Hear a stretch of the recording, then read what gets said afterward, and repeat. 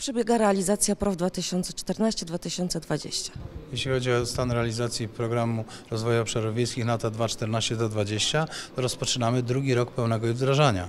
I po pierwszym roku są już doświadczenia, jest już dużo dobrych, dobrych informacji, że prawie jedna piąta mamy podpisane umowy jed, na jedną piątą dostępnych środków, no a już ponad y, y, 5 miliardów przekazaliśmy rolnikom na różnego typu działania. A jak e, wyglądają zmiany? Skąd one wynikają i dlaczego właśnie tak to zostało rozwiązane?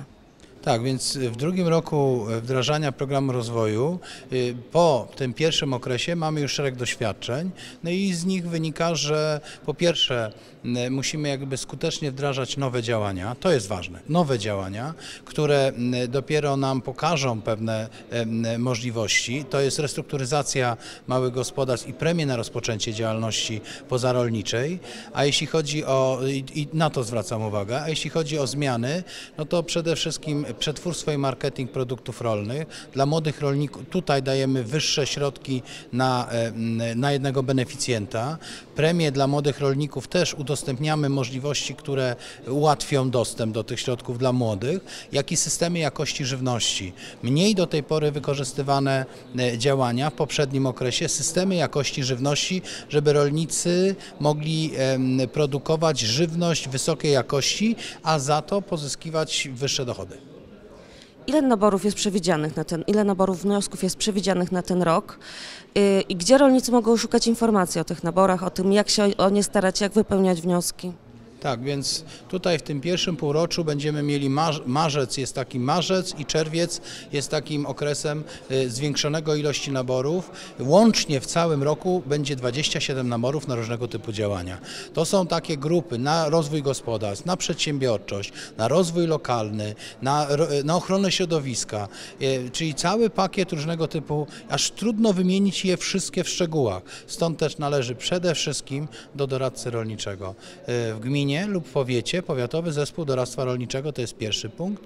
Drugi punkt to jest powiatowa siedziba, w powiecie są też izby rolnicze, do swoich przedstawicieli z izb rolniczych oni są powiadomieni i oczywiście bezcennym źródłem informacji, może takich podstawowych jest Agencja Restrukturyzacji, czyli Biura Powiatowe Agencji Restrukturyzacji. No i oczywiście internet, strony ministerstwa, strony Agencji Restrukturyzacji, no to są ogólnie dostępne informacje. A na jakie działania powinni szczególnie zwrócić rolnicy uwa- uwagę, które nie są wykorzystywane w odpowiedni sposób? I środki y, czekają na To rolników? są dwie rzeczy. Na co zwrócić uwagę teraz w najbliższym okresie? E, Na to już o tym wspominałem, jeszcze raz podkreślę. Restrukturyzacja małych gospodarstw to jest jedno działanie dla małych, niedużych, małe pomysły, małe biznesplany, mały taki pomysł, gdzie chcę środki finansowe i e, będę mógł korzystać do 60 tysięcy złotych. E, To jest jedno. Drugie to jest premie na rozpoczęcie działalności pozarolniczej. Jeden z domowników prowadzi dalej gospodarstwo, a drugi otwiera firmę i dostaje do 100 tysięcy złotych na zakup maszyn, na pomysł, na małą przetwórnię.